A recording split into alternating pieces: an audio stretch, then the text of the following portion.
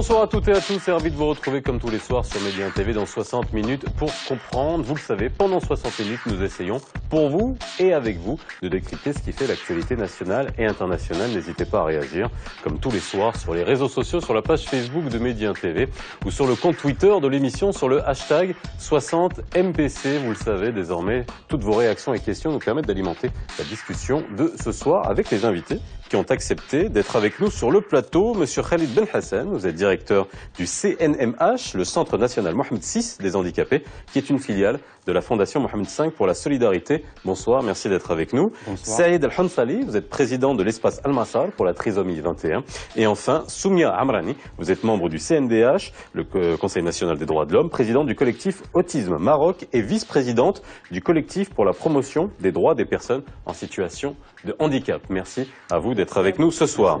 C'est hier à Salé que Sa Majesté le roi Mohamed VI a inauguré le centre d'insertion et d'aide par, par le travail à destination des jeunes handicapés, le premier du genre dans le royaume. Le roi a ainsi lancé la 18e édition de la campagne nationale de solidarité organisée du 15 au 25 février de cette année sous le signe Unis pour aider le démuni, un slogan que vous connaissez désormais par cœur. Et cette année, la campagne est dédiée à l'intégration professionnelle des jeunes en situation de handicap mental. L'occasion pour nous de revenir sur la problématique de l'emploi des personnes handicapées. Combien d'entre eux aujourd'hui ont accès au marché de l'emploi? Quels sont les obstacles pour leur insertion? Quelles sont les avancées réalisées? Et les évolutions juridiques attendues? Campagne de solidarité 2016, les handicapés à l'honneur, ce sera le titre de l'émission de ce soir. Alors, avant qu'on arrive à part, on va bien sûr parler de la situation des handicapés euh, au Maroc, et Dieu sait que c'est une problématique qui est extrêmement importante et dont on ne parle pas suffisamment. hein. C'est vrai que ces, ces moments forts sont des, sont des, euh, euh, sont des jalons dans, le, dans la communication qui nous permettent de mettre en lumière un, un véritable problème. Mais avant, parlons de la campagne de, de- de solidarité. On en est à la 18e édition, toujours avec le même slogan, Unis euh, pour aider les, les démunis. Qu'est-ce qui a aujourd'hui déterminé le choix du thème de cette année? Oui, euh, merci beaucoup. Euh, en effet, euh, la, campagne nationale de solidarité a été lancée par Sa Majesté, comme vous venez de dire, hier du 15 au 25 euh, euh, à Salé et par la même occasion l'inauguration du centre d'insertion d'aide par le travail.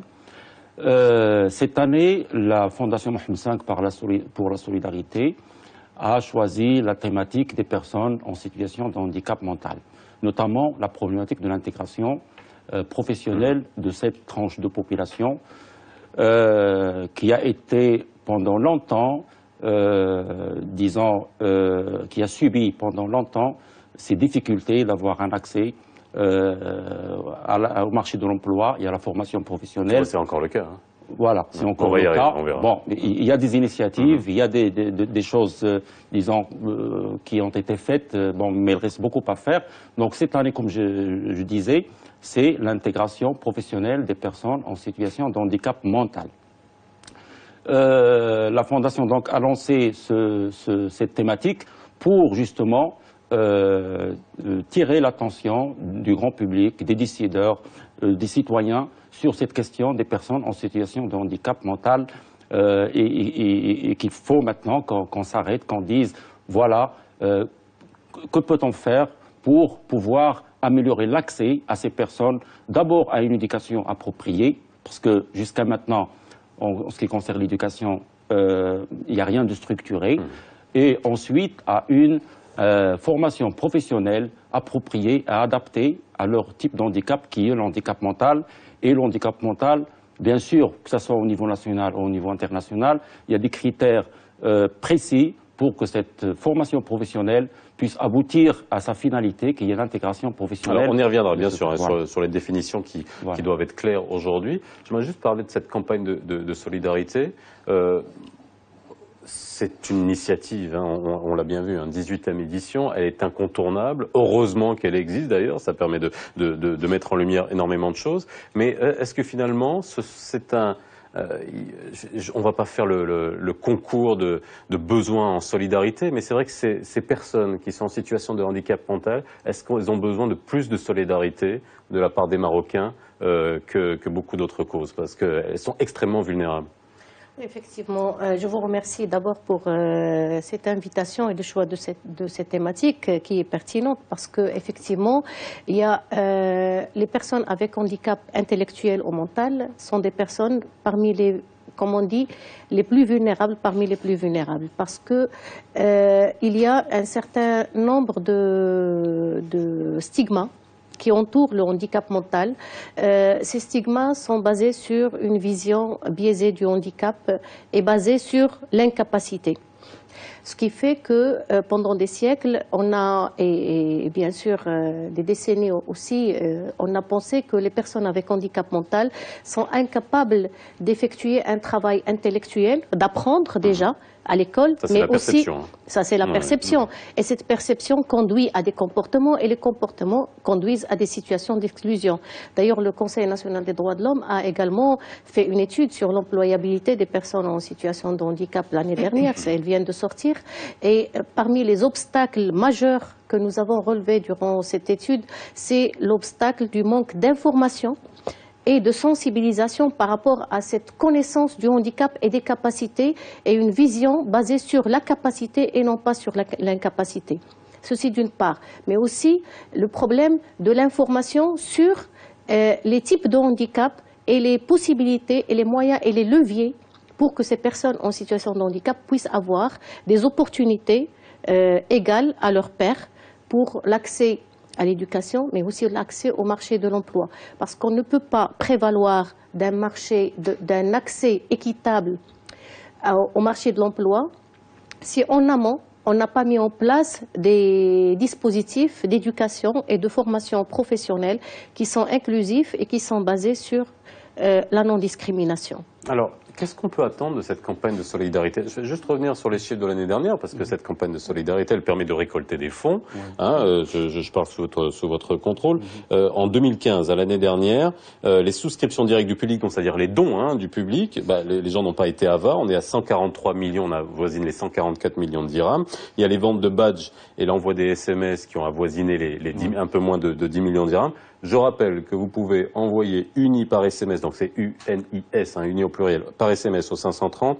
On peut acheter des timbres, on peut acheter ces badges que qu'on porte tous, qui coûtent 10 euh, dirhams, ou appeler au numéro 2016. Ça, c'est pour faire pour faire des dons. Tout cela, ça permet de réunir des fonds. Euh, qui vont soit dans des projets, bon, bah, type les projets qu'a inauguré Sa Majesté euh, hier, mais euh, pour la perception, est-ce qu'on peut s'attendre avec une campagne de solidarité qui dure un mois, qui est renouvelée tous les ans, est-ce que ça permet de mettre en lumière justement la situation des personnes en handicap mental? Euh, D'abord, merci beaucoup pour l'invitation et d'avoir choisi cette, euh, thématique. Moi, pour répondre à votre question, permettez-moi de revenir à, l'inauguration d'hier. Nous avons eu tous l'honneur euh, d'assister à cette inauguration. Et hier, j'ai vu des, les, familles pleurer de joie. Et j'ai vu la joie et, les larmes aux yeux des, euh, jeunes. Les, jeunes se sentaient valorisés, reconnus, euh, leur dignité reconnue. Ils sont sur le point de commencer un, nouveau, une nouvelle étape de leur vie une étape avant-hier était un rêve. Euh, ils sont devant un cadre euh, d'employabilité, ils vont avoir un emploi, une rémunération. Et euh, ceci revient à une grande valeur de la citoyenneté marocaine, qui est la solidarité. moi, je crois qu'à travers cette, cette valeur qui est maintenant ancrée dans, dans, le, dans la réalité et l'imaginaire des Marocains, à travers ce que fait la Fondation Mohamed pour la solidarité pendant plus d'une, au moins d'une, euh, plus d'une décennie, euh, euh, il, donne d'abord la réalité, l'impression et le, résultat d'un travail consistant, continu, avec un grand rythme et rapidité. Moi, je crois que je peux répondre à la question indirectement parce que je n'ai pas les chiffres, mm-hmm. mais on, on, peut dire qu'à travers cette continuité régulière, rythmée, euh, euh, la, solidarité peut susciter le fond, mais aussi peut susciter l'attention de la, de la citoyenneté marocaine et aussi de, de, de, la, euh, la perception internationale. Ben, c'est comme ça que je vois le... La, la solidarité financière suffit? Oui. Euh, Enfin, je vous pose la question. Oui, la solidarité financière ne suffit pas, euh, certainement.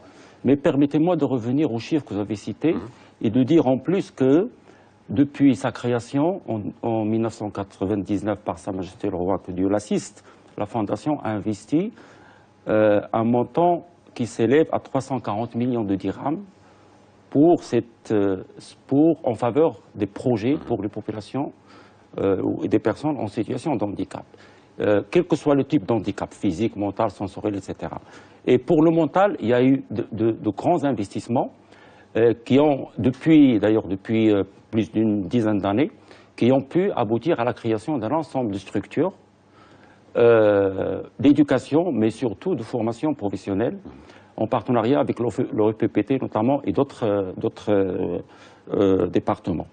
Ces structures, c'est vrai que les, les- chiffres peuvent apparaître petits, mais ils sont très significatifs. Par exemple, la Fondation a pu créer, en partenariat avec l'OPPT, neuf structures mixtes de formation professionnelle qui vont permettre de prendre en charge dans la formation professionnelle 50% de valides et 50% d'handicapés qui, qui sont fonctionnels actuellement, en plus de euh, à peu près 15 structures spécialisées euh, dans, pour la prise en charge des personnes en situation de handicap mental, y compris le Centre national des handicapés qui a été créé en 2006, et bien sûr ses annexes régionales au niveau de Marrakech, Oujda, Fès et, et Safi, bientôt Casablanca et Agadir. Donc ceci pour dire que euh, ces, fonds qui sont collectés, euh, ils servent à beaucoup de projets sociaux, mais notamment des projets sociaux qui ciblent les personnes en situation de handicap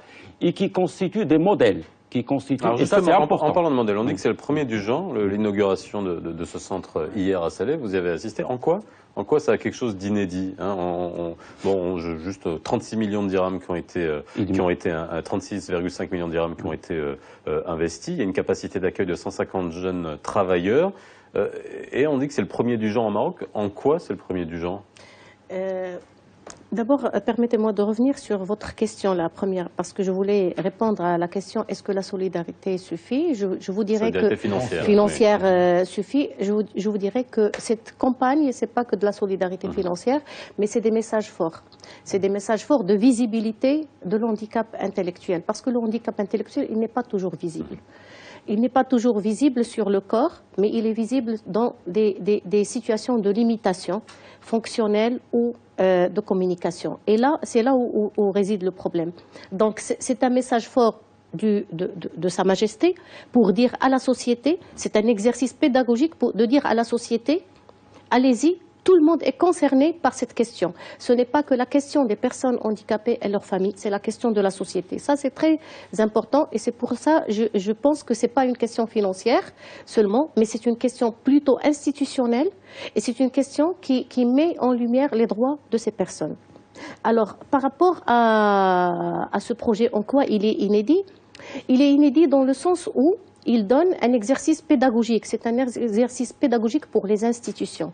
Parce que jusqu'au jour d'aujourd'hui, je ferai le parallèle avec les, résultats de l'étude que le Conseil national des droits de l'homme a effectuée l'année dernière euh, sur les, droits des personnes en situation de handicap à l'employabilité. Parmi les obstacles, c'est euh, un problème de maturité. Les niveaux de maturité des institutions et des différentes parties prenantes n'est pas le même.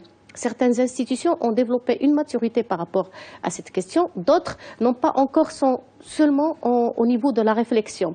Ce qui fait que les actions ne convergent pas et quand les actions des différentes parties prenantes ne convergent pas assez, on ne peut pas construire un projet euh, cohérent. Là, ce projet-là, il y a une cohérence entre formation, insertion professionnelle, protection sociale, assurance sociale et perspective d'avenir d'inclusion dans la société. Et c'est là où, euh, euh, à mon sens et au sens des droits de l'homme, c'est un projet qui est novateur et qui peut servir d'exercice euh, et de modèle pour s'en inspirer dans la perspective d'une rotation des bénéficiaires et dans la perspective, la perspective d'ouverture sur des milieux de, de, travail ouverts, mais aussi ce qui, est, ce qui est inédit dans ce projet, c'est que pour la première fois, il y a des contrats de travail. Parce que le problème... On les met vraiment dans des situations qui sont aujourd'hui de responsabilité et, de, capacité juridique. Parce que jusqu'à aujourd'hui, euh, nous avons relevé au niveau de l'étude de l'employabilité des droits des personnes handicapées, qu'il y a un problème de reconnaissance de la capacité juridique des personnes avec handicap mental. Autant euh, le, Code de la famille reconnaît la, capacité juridique pour le mariage, autant cette capacité n'est pas transposable dans la loi marocaine euh, pour le moment, n'est pas encore transposable sur les autres domaines commerciaux et autres. Et donc, ce projet, il est inédit parce que, et ça c'est la chose à mon sens, la plus importante, il a initié la réflexion sur la capacité juridique des personnes en situation de handicap, leur capacité de contractualisation et le passage, et c'était ça la recommandation l'année dernière du CNDH, mhm. le passage d'une décision substitutive à une décision assistée. Et là, on, voit avec ce projet les prémices de la mise en place de cette décision euh, assisté, qui est très important, un instrument juridique d'autonomisation. Saïd vous êtes président de l'espace Al-Massar pour la trisomie 21. Dans ce centre, il y a 41 bénéficiaires, donc 14 trisomiques et 27 euh, en, situation de, retard mental. Est-ce qu'on passe vous l'avez dit, le symbole est important. Bon, là, on est dans l'effectif, mais en même temps dans le symbolique, parce qu'on communique autour de tout ça. De donner, finalement, de passer, euh, et excusez-moi le terme, je vais utiliser peut-être des termes forts, d'une espèce de, pitié à une réalité sur le terrain de dire ces gens-là, ils n'ont pas besoin de pitié, ils ont juste, juste besoin qu'on les considère comme des gens qui ont la capacité de travailler. Juste pour préciser, euh, à l'espace Massar, mmh. il y a une exclusivité euh, pour la trisomie 21. Oui. Euh, moi, je vais, je vais répondre aux deux questions. Ce projet, il est inédit, comme a dit mon ami Soumia Amrani, il, il, est inédit parce qu'il est dans la, c'est la voie pour la résolution du vide juridique par rapport à, à l'emploi des personnes en situation de handicap. Pour, revenir à notre expérience en tant qu'espace, que, centre pour, pour enfants et jeunes trisomiques, nous avons travaillé pendant des années sur la formation professionnelle. Et euh, nous avons mis en place des projets, euh, même euh, pendant, pendant deux années successives, le, le, CNMH, en partenariat avec la société civile, il a organisé deux grands congrès sur l'employabilité. Mais la problématique de la capacité juridique, il est, il est encore très ancré dans, la, dans, le, dans, le, dans le cadre juridique marocain. Alors, euh, chez nous, par exemple, nous sommes en train de... de, euh, de euh, on, a lancé un projet de formation professionnelle en matière, en métier de boulangerie à des jeunes trisomiques. Nous avons 12 jeunes trisomiques qui sont en voie de, formation. Mm-hmm. Mais euh, la, grande question qui nous se pose, et alors, et après, après, la formation, qu'est-ce qu'on fait? Qu'est-ce qu'on fait de ces jeunes? Euh, pendant, pendant, des, euh, pendant des années et des années, nous avons suscité la, la réflexion. Et, et alors le, le, le problème, c'est qu'au secteur public, le, le, problème de la capacité juridique, il est, il est toujours, elle empêche, pas par, euh, ce n'est pas voulu, mais c'est une question de, euh, de, loi. et aussi de, vision.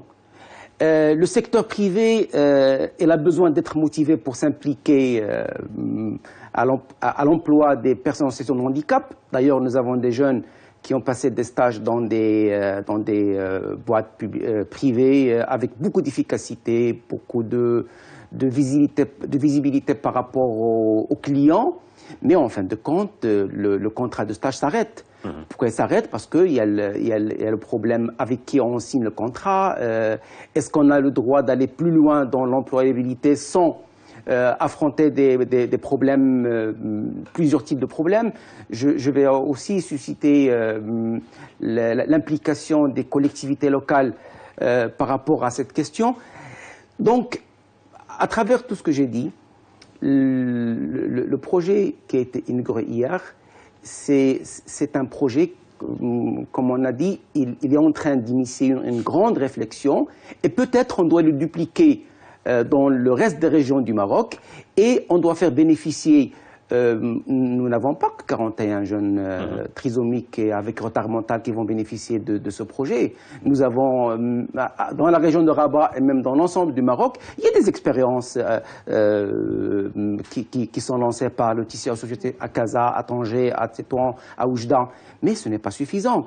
Il faut, à mon sens... Encore une fois, la société civile qui fait le boulot, là. Oui, mais je crois qu'il faut institutionnaliser le, problème et le rendre euh, visible et, euh, et, et, l'insérer dans une approche droit.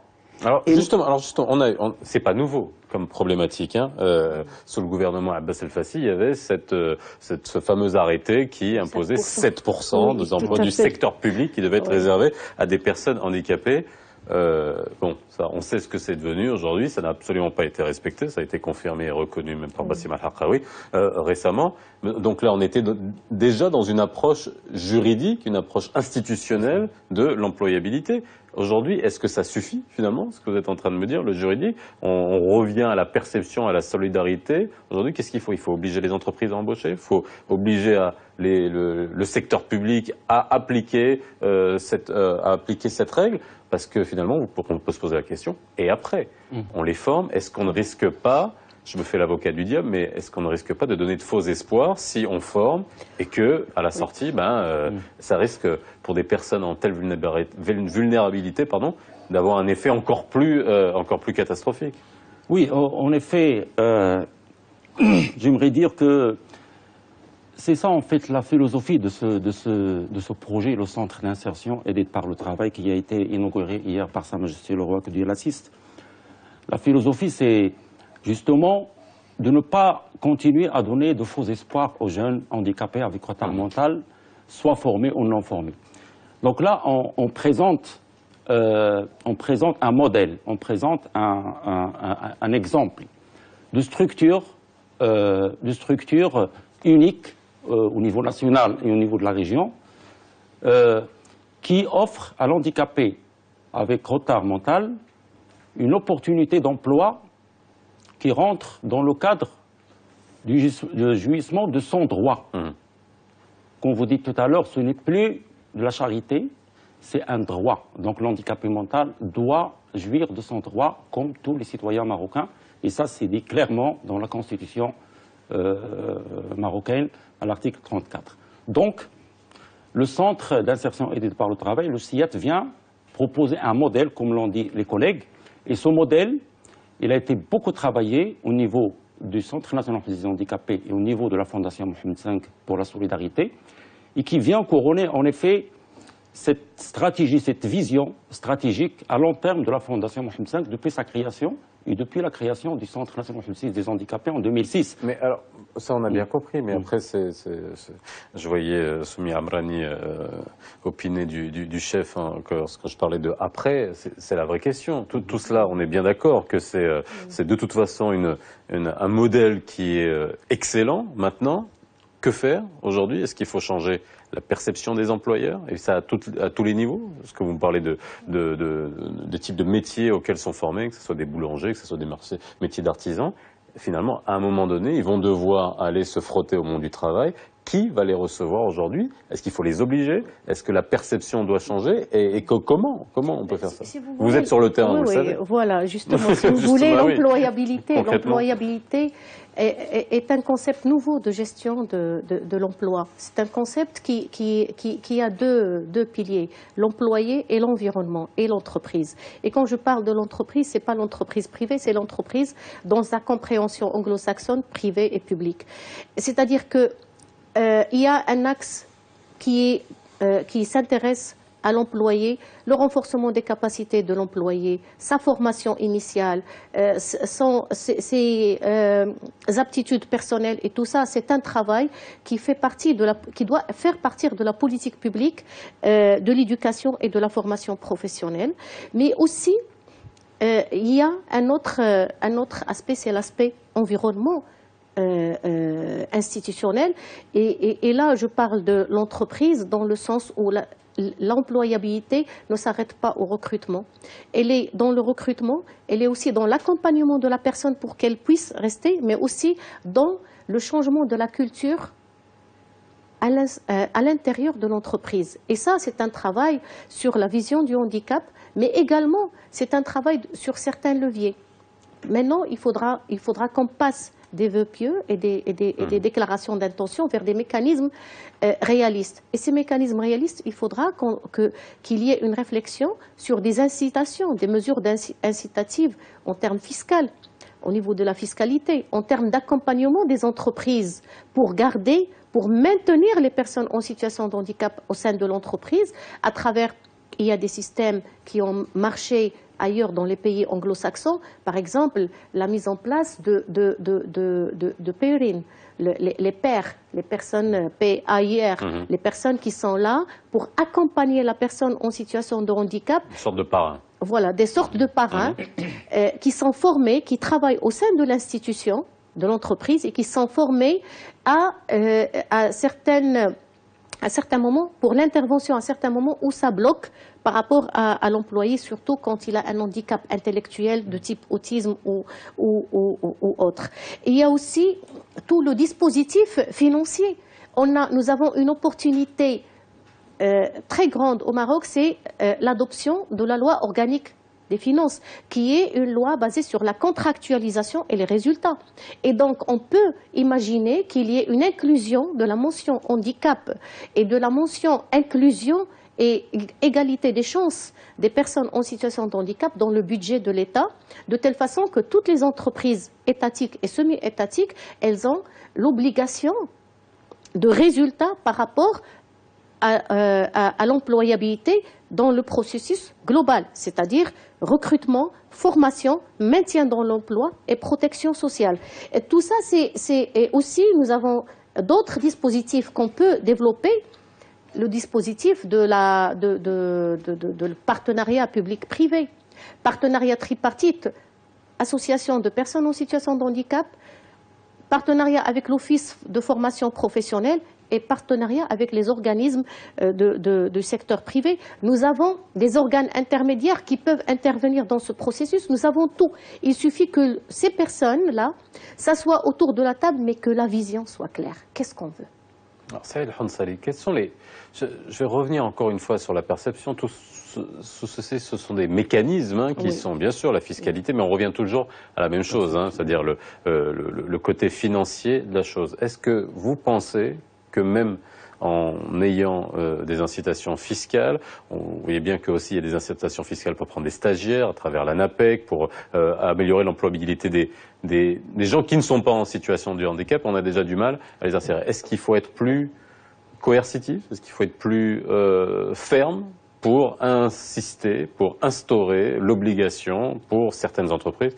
Il y a beaucoup d'entreprises qui sont en train de, euh, qui ont eu des labels RSE euh, donnés par la CGM, responsabilité sociale dans l'entreprise. Dans ces entreprises, il y a des handicapés qui travaillent. Je vous donne, je prends un exemple. Voilà, tout simplement. C'est non mais non, vraiment non. non. Oh, ça n'en fait pas partie. C'est pas dans le cahier des charges pour devenir une entreprise RSE, employer des handicapés. Bah, en fait, il faut discuter avec eux. Bah, avec la CGM, oui. moi, je souhaite euh, revenir à, une réalité. Euh, le Maroc, il a ratifié la Convention des droits euh, des personnes en situation de handicap. mais l'applicabilité, elle est limitée.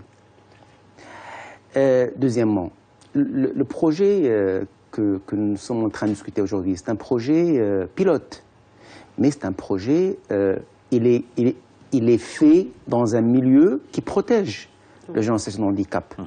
Donc il faut qu'on passe plutôt, pour améliorer, Sim Hassan il a parlé de modèle, il faut qu'on passe à, à, travailler sur la notion de projet de vie.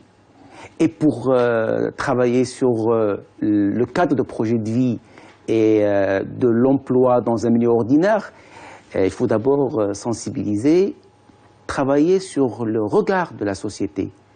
Et à travers le regard de la société, le regard des, euh, leaders, des employeurs, des, euh, des décideurs de la politique. Alors justement, le regard de la société, on va faire une petite pause, mais le regard de la société, je vais vous poser la question, parce que c'est quand même aussi que j'aimerais vraiment avoir, vous êtes sur le terrain.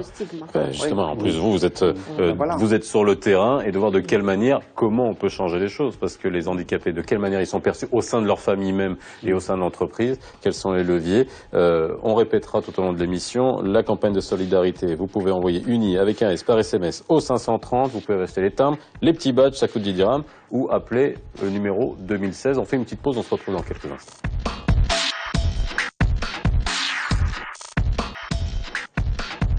Campagne de solidarité 2016, elle a été lancée hier. Les handicapés euh, sont à l'honneur. Les handicapés, les, personnes en situation de handicap euh, mental sont concernées. Et c'est vrai qu'aujourd'hui, on essaie de, comprendre.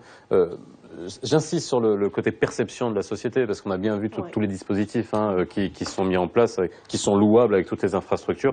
La question est de savoir demain, à partir du moment où on, les aura, on aura des personnes en situation de handicap mental qui ont la capacité, qui sont dans l'employabilité, de quelle manière après le- la viabilité du processus est possible au, au sein de l'entreprise. Je disais tout à l'heure, vous êtes tous sur le terrain. Aujourd'hui, là je, je parle de manière très, très concrète, comment sont perçus nos handicapés aujourd'hui, en 2016, au Maroc Malheureusement, il n'y a, pas cette conviction euh, souhaitée euh, de tout le monde pour croire en les capacités des jeunes en situation de handicap mental. Euh, moi, je crois que nous avons. le Maroc a fait de grandes avancées en ce qui concerne la question des droits de l'homme, la question, la constitution marocaine, etc. Maintenant, il faut que moi, je, parle de tout le monde, monsieur tout le monde, les décideurs, la société civile, euh, autres que ceux qui travaillent dans le domaine du handicap, euh, le, secteur privé, etc. Il faut que tout le monde soit convaincu de l'importance de mettre ces personnes en situation de handicap mental, encore une fois, au sein donc de, de leurs droits. Et ça, c'est une question fondamentale. Et c'est ce que essaie de faire la Fondation Mohamed V pour la solidarité, euh, grâce à ces modèles qu'il propose, depuis la création des centres spécialisés pour la trisomie et pour les autistes, etc., jusqu'aux créations du Centre national, jusqu'au modèle que nous sommes en train de discuter aujourd'hui. Euh, c'est un modèle concret. D'ailleurs, depuis toujours, on parlait de l'intégration professionnelle de ces jeunes. Euh, Au-delà des, chi- des- des- des- des- des chiffres, des finances, de l'argent, etc., on parle de l'intégration sur le plan moral et sur le plan conviction. Les gens, vous l'avez dit tout à l'heure, euh, en ce qui concerne l'handicapé mental, ne croient pas en ses capacités, même s'il est formé euh, avec une formation adaptée qui est à 100% pratique, bien évidemment, parce que l'handicapé mental, ne, dans, dans la majorité des cas, ne sait pas lire et écrire. Donc, bien qu'il soit formé, les gens n'ont pas cette conviction que l'handicapé puisse être citoyen actif et productif au niveau de la société. Maintenant, nous, on vient avec ce modèle justement pour leur dire, venez voir, c'est un modèle, c'est un modèle et- qui, a pu déjà intégrer plus de 40 personnes et qui va aller jusqu'à 150 dans une année, Inch'Allah. Ve- Venez voir ce modèle euh, aux, euh, aux entreprises privées, même aux départements, etc. Et peut-être grâce à ce modèle, on aura atteint euh, le- le- le- les consciences des gens qui, qui ne sont pas encore cette conviction souhaitée. Alors, si vous voulez, la vision euh, sur le handicap, elle est, elle est très, très négative au Maroc. Et je peux vous donner des mesures, des, des indicateurs de mesure de cette vision. Il y a qu'à 60 voir dans la rue. Voilà. Dès que, alors déjà, Oui. dé- déjà, il y a peut-être un signe, c'est qu'on ne voit pas beaucoup Oui. handicapés dans les rues marocaines. Voilà. C'est un signe, ça Ils sont, On les ils cache sont encore dans notre invisibles. Ils sont invisibles. Moi, je parle d'invisibilité des personnes en situation de handicap et d'une invisibilité en tant que personne, mais en tant- au niveau institutionnel aussi. Parce que 79% des, des enfants en situation de handicap de la tranche d'âge 5 à 17 ans ne dépassent pas l'école primaire. Vous avez Ils sont trois fois moins scolarisés que, Voilà. que la moyenne. Que hein, la c'est- moyenne. oui. Alors, vous avez également le taux de chômage parmi les personnes en situation de handicap dépasse de quatre fois le taux de chômage parmi leurs pairs. Et ça, c'est des chiffres alarmants qui peuvent mesurer le degré de discrimination et de stigma. Parce que jusqu'à au jour d'aujourd'hui, quand nous voulons parler de handicap, on ne parle pas de situation de handicap et de situation de participation sociale, on parle d'incapacité qui est mesurée par le médical. C'est-à-dire une personne qui ne peut pas voir, c'est une personne inapte. On a ce problème. Tant qu'on a cette mention inapte pour l'accès à l'emploi, parce que jusqu'à au jour d'aujourd'hui, pour être recruté dans la fonction publique, vous devez passer un examen médical, physique, de santé qui vous dit, qui vous taxe d'inapte si vous êtes sur fauteuil roulant, si vous ne voyez pas ou vous n'entendez pas. Et ça, c'est très grave. Alors, je ne parle pas des personnes avec handicap mental qui d'office sont rejetées parce que de toutes les façons, quand on, est, quand on a un handicap mental, il y a un problème de classification du handicap au Maroc. On n'a pas encore adopté la classification basée sur les capacités. La Convention, dans l'article 3, elle parle de la reconnaissance des capacités évolutives de l'enfant handicapé.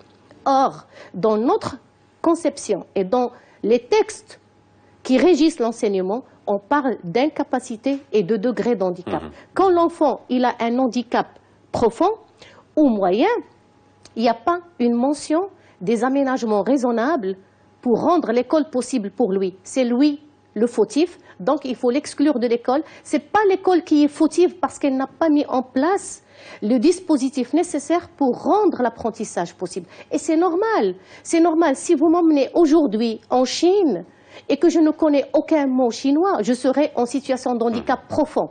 Je ne pourrai ni étudier, ni même subvenir à mes besoins essentiels parce que je ne connais pas cet environnement, je n'ai pas les moyens d'accéder à cet environnement. Et c'est ce qui se passe avec les personnes en situation de handicap, notamment intellectuelles. Non, notamment intellectuelles. Vous vous occupez d'enfants trisomiques, de personnes, hein, de, personnes euh, trisomiques. Là aussi, il y a des niveaux, euh, il y a des niveaux euh, différents. Et, et, là, ce sont des, des handicaps que l'on voit euh, que l'on voit, que l'on détecte, qui, sont, qui sont visibles, là, facile à reconnaître. Oui. Comment vous le sentez aujourd'hui? C'est-à-dire, c'est moi quand je vois des gens qui voient apparaître une personne trisomique, on voit tout de suite des regards qui sont mêlés. Euh, à la fois, je sais pas, c'est assez dur à, à décrire mm. entre entre pitié et en même temps un peu de cynisme derrière tout ça. Euh, avant de parler de ça, moi je souhaite résumer ce que, ce que disait euh, Soumia. Euh, c'est à, l'école de s'adapter à l'enfant, au marché de l'emploi de s'adapter aux personnes en situation de handicap et non le, contraire.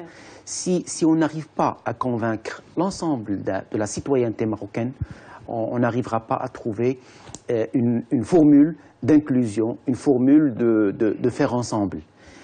Euh, par rapport à la trisomie 21, moi, je souhaite être en même temps positif. Mm-hmm et, en même temps euh, décrire quelques points négatifs. Euh, euh, côté positif, il y a de l'amélioration, il y a de l'évolution. Il y a des gens qui, qui, ont commencé à, accepter le, handicap de leurs enfants et ils espèrent que l'ensemble de la société... c'est déjà au sein de la famille Bien sûr. Là, vous avez senti une évolution Bien sûr. Mmh. Pendant, pendant 10 à 15 à 20 ans, il y a beaucoup de choses euh, qui ont changé. Nous, sommes des parents avant tout.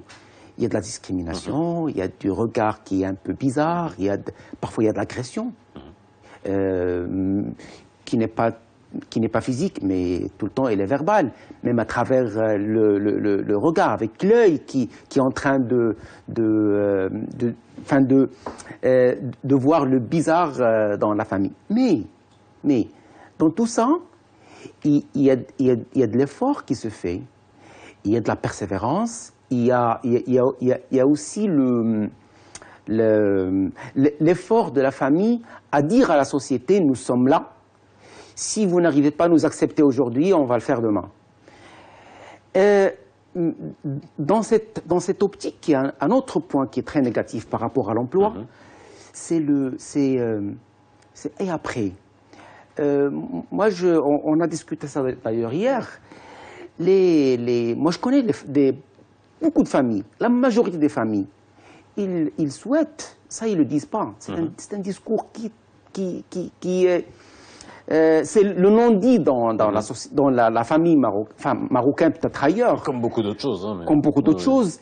Les familles espèrent que leurs enfants euh, partent avant eux, quittent cette vie avant eux. Ça va leur faire souffrir.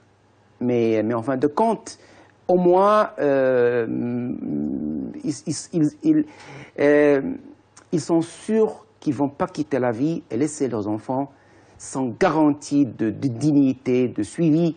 Même la, fra la fratrie d'aujourd'hui n'est pas prête à, à, à, prendre la relève. On voit, bien, on voit, bien, que ce sont des sentiments qui sont très durs à appréhender. Hein. Oui, Quand on vous écoute au, au premier moi, abord, dis, on, peut, on pourrait penser que c'est inhumain, mais au contraire, non, on voit que derrière ça, y a, on n'a pas humain. envie de laisser ses enfants tout seuls, livrés à eux-mêmes, alors que le, la société n'est pas prête à, Pourquoi à les tout accepter. ça, tout, tout ça euh, pardon, parce que nous n'arrivons pas encore à instaurer, à installer des structures qui est capable de prendre en charge les jeunes, même dans l'absence de leurs euh, parents. Mais alors, juste euh, pour, pour, la question de perception, on ne parle pas des enfants. Est-ce qu'aujourd'hui, le fait de côtoyer des personnes handicapées dès le plus jeune âge, c'est aussi ce qui fera des Marocains de demain plus enclins peut-être à côtoyer au sein de l'entreprise, pas des gens en situation de handicap? Est-ce que ça aussi c'est important? Est-ce que on réfléchit à cette manière-là, de mélanger, bah, tout simplement, de dire à des enfants, bah, regardez, oui. alors c'est peut-être dur au début, mais après, euh, le, le, le, on va dire l'adaptation fait son œuvre. Ça, c'est une réflexion qui est mise en place. C'est l'un des objectifs aussi et, et, et des buts de, de, de, ce modèle qui a été implanté par la Fondation, mm -hmm. tout en créant, tout en, en, en s'ouvrant sur l'environnement. Le centre qui est en fait un, un établissement de travail adapté aux handicapés mentaux, euh, qui est ouvert sur son environnement, notamment le milieu scolaire, parce que le centre, en plus des prestations qu'il qu propose, euh, sans rentrer dans le détail, il y a aussi tout ce qui est activités pédagogiques qui sont ouvertes au milieu scolaire. Donc les, les, les, les élèves du scolaire vont venir visiter, voir, euh, prendre le goûter, faire le pique-nique, etc., rencontrer ces jeunes, discuter avec eux. Et c'est aussi quelque chose que nous faisons au niveau du Centre national des handicapés. Nous organisons des journées ouvertes deux à trois fois par an pour les, les, écoles, pour permettre à ces jeunes, justement, au bas âge, de venir voir les, les, les jeunes handicapés euh, qui sont là. Et, et, et, nous, avons, nous avons vu des situations vraiment euh, catastrophiques quand, quand, on a, pour la première fois, quand certaines écoles, certains jeunes qui arrivent pour la première fois, -hmm. euh, je ne vais pas le dire, mais nous avons rencontré des, des, difficultés au début pour que ces jeunes qui sont considérés je dirais plutôt valides que, norma, que normaux, mmh. valides, mmh. parce que tout le monde est normal, donc c'est oui. des valides et des différents, euh, parfois n'ont pas cette perception positive de la personne en situation de handicap, surtout mental. Et donc c'est ça un peu, euh, comme j'ai dit, l'un des objectifs aussi de ce, de ce modèle, c'est de s'ouvrir. En plus de ça, les projets de la Fondation, ils vont aussi dans ce sens. C'est d'éduquer, de préparer des jeunes au bas âge et au moyen âge d'accepter la différence, l'autre personne différente par son handicap, comme un citoyen normal, et, et, et puis euh, lever ce, ce, tabou qui existe depuis, depuis toujours. Maintenant, alhamdoulilah, on n'en est, est pas au degré où on était il y a 15 ans ou 20 mm -hmm. ans, mais il y, a, il, y a, il y, a, un effort qui reste à faire, il y a des défis qui restent à faire pour que tout le monde puisse euh, admettre et accepter que ces personnes qui sont différentes par leur handicap euh, mentale puissent aussi être appréciées d'une manière correcte et d'une manière digne euh, qui, qui, garantit leurs droits. Voilà. Si, vous voulez, si vous voulez, moi je, je, je, je rebondirai sur c'est dur. Non, ce n'est pas dur pour les enfants mm -hmm. de côtoyer des, des, enfants de, qui sont en situation de handicap à l'école, dans les espaces de loisirs. C'est dur pour les adultes. -hmm. moi, moi, je suis aussi parent d'une -hmm. jeune femme autiste. Et, et, franchement, ce ne sont jamais, je n'ai jamais rencontré d'enfants ou de jeunes au jour d'aujourd'hui qui stigmatisent mon enfant c'est plutôt les adultes qui stigmatisent les enfants. Et donc c'est un problème de regard sur le handicap et de regard sur la normalité. Qu'est-ce qui est normal? Qu'est-ce qui est standard? Parce que parfois, on a l'impression que la personne normale, c'est une personne qui a une certaine taille, une certaine couleur de peau, une certaine euh, forme. Les obèses ne sont pas reconnus, les, les, les petits de taille ne sont pas reconnus, les, les, personnes étrangères ou de couleur ne sont pas reconnues. C'est un problème de standard. Alors que les enfants, ils n'ont pas ces, euh, visions a priori. Mmh. Ils sont ouverts sur tout. Et donc, c'est tout un apprentissage. Si c'est pour ça, nous prenons l'inclusion. Le CNDH, il, est pour l'inclusion des personnes en situation de handicap. Il est pour que les personnes en situation de handicap soient à l'école ordinaire, qu'ils soient dans les espaces ouverts.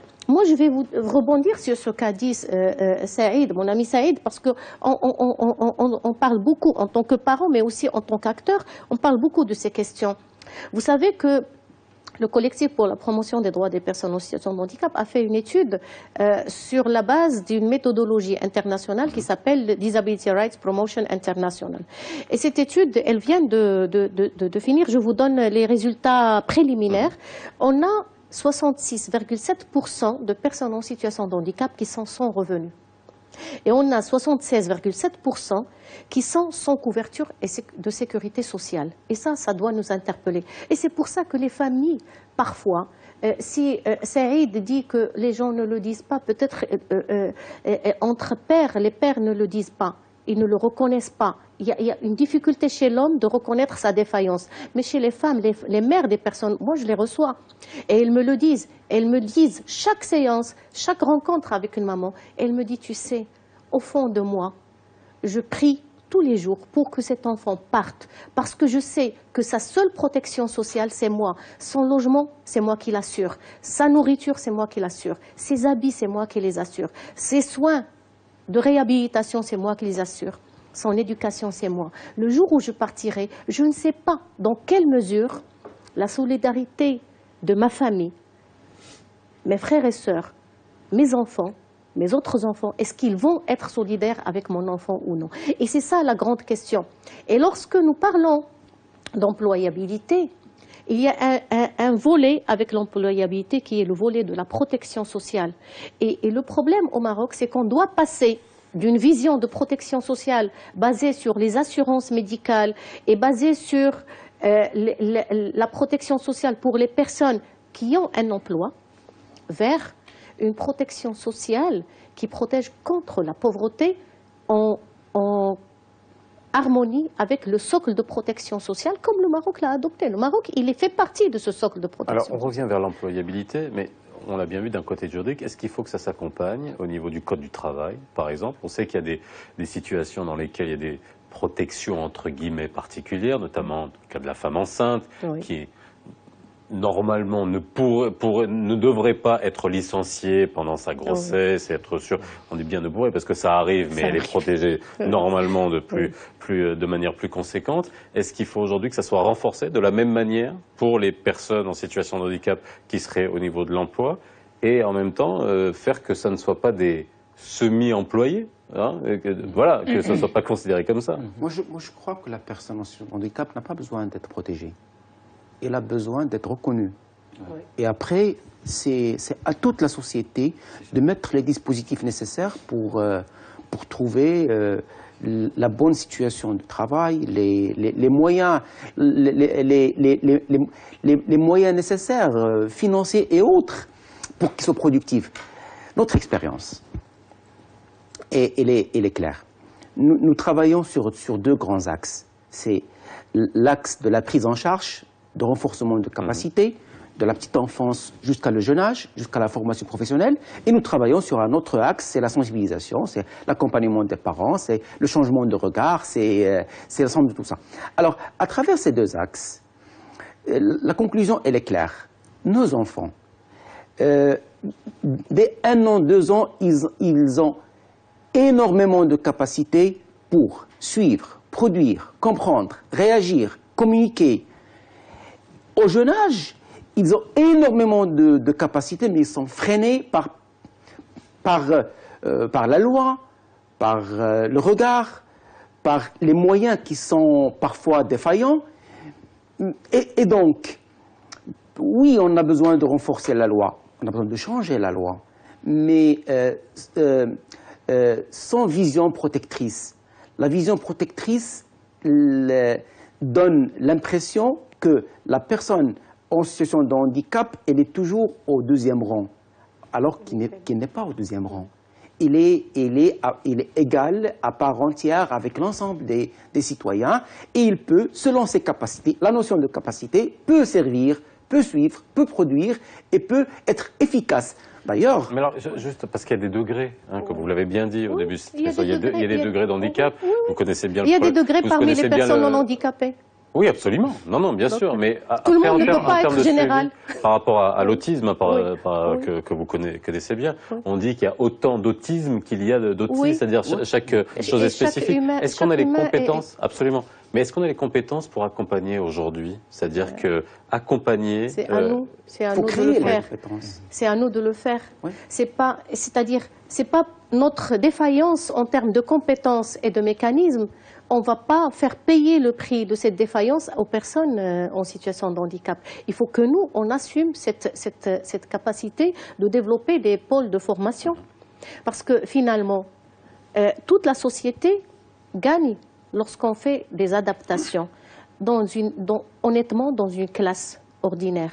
On a toujours entendu les enseignants dire que dans une classe ordinaire, ils divisent les, élèves en groupes. Il y a le groupe pilote, hum. moteur, qui, tire la classe, il y a le groupe moyen, il y a le hum. groupe qui est à la traîne. Et, et cette diversité qui est dans la classe, qu'est-ce qu'elle nous dit en fait? Euh, si, on, l'analyse d'un terme d'incapacité, on va dire qu'il y a les surdoués, il y a les moyens, il y a les, mmh. cancres. Non. En fait, c'est une diversité de capacités d'assimilation dans le temps, c'est une diversité de canaux d'apprentissage, de moyens d'apprentissage. Il y en a qui sont visuels, dans leur apprentissage et des intelligences multiples. Il y, en a qui, qui, sont visuels, d'autres auditifs, d'autres manuels. Et pourquoi on va priver notre société de cette richesse De cette richesse de capacités différentes? Et cette diversité, c'est ça qui fait la société. Et donc, ce qu'il faut, c'est en amont, c'est travailler sur la formation initiale et la formation continue. Moi, je vais. Permettez-moi. Permettez non, mais je vais m'arrêter là-dessus. Formation initiale. On a débattu très longuement sur ce plateau à plusieurs reprises sur la réforme de l'éducation. Vous savez dans quel état est notre éducation. On est encore en train. Il y a des visions stratégiques qui sont qui sont mises en place. Est-ce que c'est catastrophique Non, non, mais absolument. Est-ce que c'est le moment, on est dans une vision stratégique, une réforme qui, est, qui est en place, c'est le moment maintenant de vraiment d'insérer... Euh, moi, je vais vous dire une, des réussites. Justement, le Conseil national des droits de l'homme a émis un avis l'année dernière pendant euh, que le Conseil supérieur de l'enseignement était en train de travailler sur la stratégie et la vision 2030. Il a émis un avis sur l'éducation des enfants en situation de handicap, des personnes en situation de handicap dans une perspective d'inclusion. Parmi les recommandations, c'était une mention très simple et qui changerait la vie de toutes les personnes en situation de handicap au Maroc. C'est la modification de l'article 1 de, la loi 1963 sur l'obligation de l'enseignement fondamental. Eh bien, je viens de découvrir, de voir sur le site du Parlement, avec bonheur, que cette recommandation a été reprise et l'article 1 a été modifié. Et là, maintenant, on a deux mentions qui sont introduites dans cet article. D'abord, l'obligation de, de l'enseignement fondamental pour tous les enfants en situation, pour tous les enfants marocains, y compris les enfants en situation de handicap. La deuxième mention qui est nouvelle aussi dans cette loi, c'est que l'âge de l'enseignement fondamental était limité à 15 ans pour tous les enfants. Maintenant, pour les enfants en situation de handicap, il est élargi jusqu'à l'âge de 17 ans. C'est des, des, modifications très simples, mais qui vont faire le bonheur et qui vont changer des vies humaines et faire ouvrir les opportunités. Et c'est ça, justement, d'ailleurs, cette année, le handicap, il est célébré sous le signe des capacités multiples. Et donc, ça va faire le bonheur des capacités multiples pour que notre société, parce que c'est nous qui perdons. Vous savez, c'est la société marocaine qui perd en ne profitant pas des capacités diverses des personnes en situation de handicap.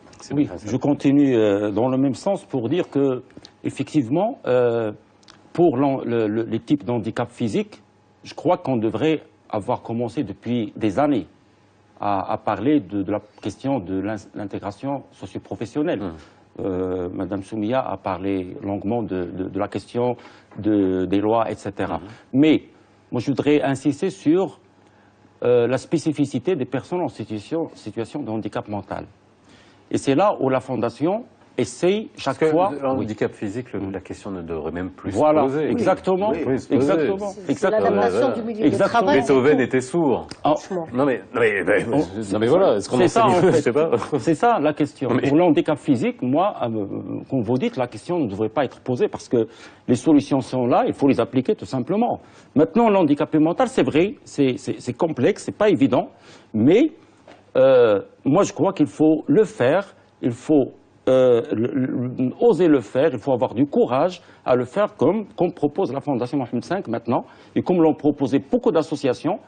Euh, depuis euh, euh, plus de dix ans, beaucoup d'associations ont eu des initiatives, c'est vrai ponctuelles, mais des initiatives louables. Et maintenant, la Fondation vient proposer un modèle complet sur le plan juridique, réglementaire, allocation sociale, etc. Et euh, permettre donc à ces jeunes-là de, donc de- d'avoir accès au travail et de montrer que c'est faisable, comme je disais tout à l'heure, de dire oui, c'est faisable et que euh, un modèle qui peut être amélioré, qui peut être travaillé, tout en, en- en- en le mettant dans le cadre de- de- des réformes qui sont en cours maintenant. Et c'est ça, je pense, la, la- la philosophie de, de- de ce que se fait. Moi, je souhaite Oui. commenter ça. Nous avons besoin de travailler dans le consensus et le partenariat. On ne peut pas changer le monde dans le conflit. Et, euh, et- et- dans ce sens, moi, je, on est en train de finir dans le positif, dans le bonheur. Euh, Il y, a- il y y il y a pas mal de, de points noirs euh, que, nous, que nous avons discutés euh, ce soir, mais euh, nous, nous, en tant que société civile, en tant que parents, en tant qu'acteurs, nous tendons la main à tout le monde. Pourquoi?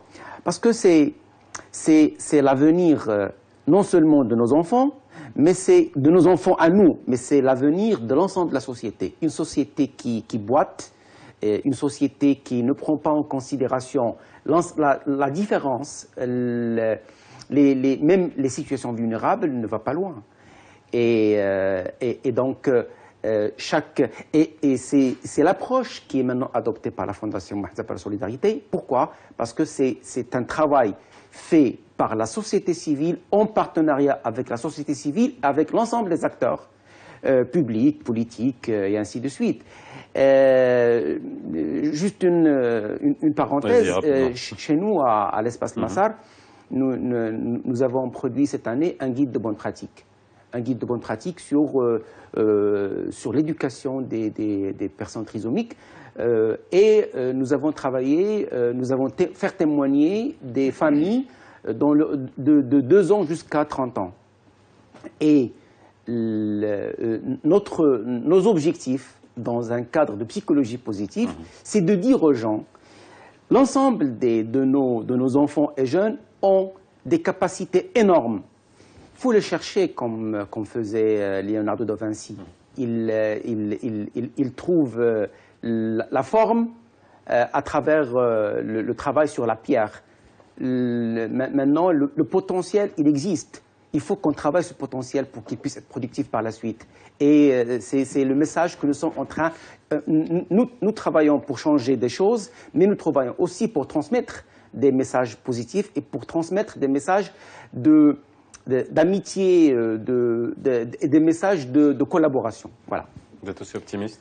Oui, je suis optimiste. Euh, je voudrais juste insister sur une chose, c'est que les personnes avec handicap intellectuel ne sont pas les plus euh, exclues, seulement les, les seuls exclus de Oui, l'enseignement ou de la formation ou de, de- de- de l'emploi. Il y a les personnes avec surdité et les personnes non-voyantes. Parce qu'il y a un dispositif qui est nécessaire, qui est très simple, qui n'est pas coûteux, mais que la vision de l'incapacité nous empêche de mettre en place. Je suis, optimiste parce que le Maroc adhère aux objectifs du développement. Trois objectifs du développement vont dans ce sens. Le premier, c'est l'élimination de la pauvreté.